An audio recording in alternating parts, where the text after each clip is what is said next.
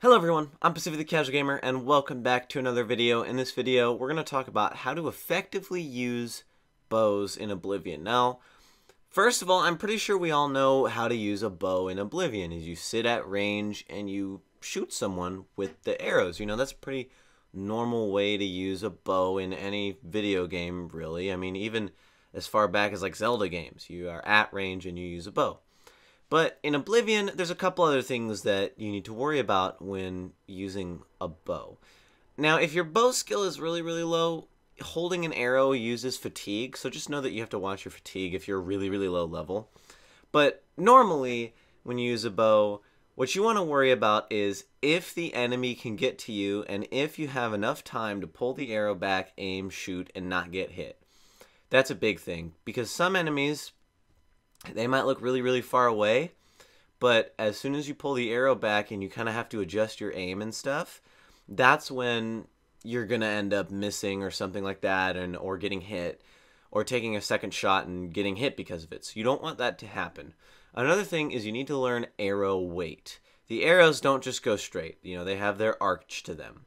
So you need to learn the arrow arch and you need to pull the bow back, you know, all the way or sometimes you don't need to pull it back all the way just to make sure that the arrow arch is correct. Now, those two basic things, what you really want, um, the ideal situation is to jump on top of something or give yourself enough room to where a melee fighter can't hit you whatsoever. Okay, that's pretty normal. Ranged combat is where it gets interesting. You want enough space to wherever you're standing to dodge a ranged attack. Okay? And it's very simple in Oblivion. The AI is very easy to trick. All you gotta do is stand still, and as soon as you hear the bow go off or a spell go off, you just move sideways. That that's basically how you dodge anything in Oblivion.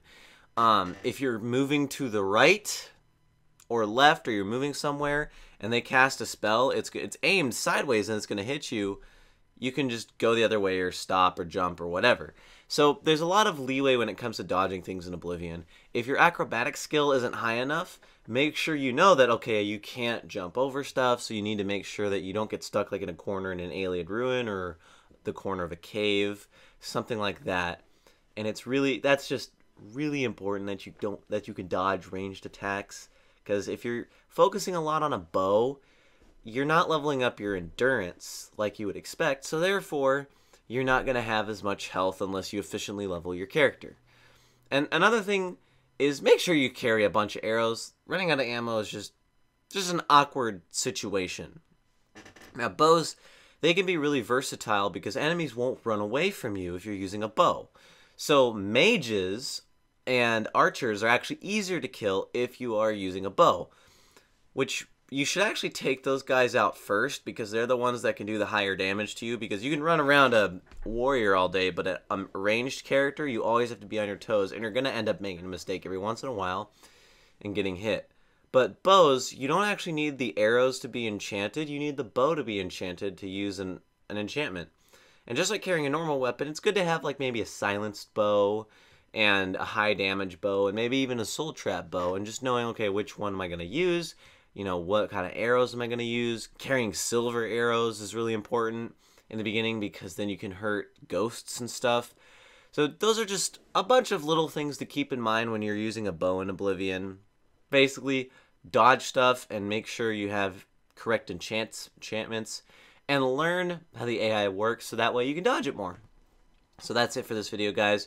If you enjoyed, you can tell me in the comments below. Subscribe for new for more videos on Oblivion. I'm Pacific the Casual Gamer. I suck just as bad as you do at video games, and I'll see you in the next episode, stream, or vlog of whatever I decide to make.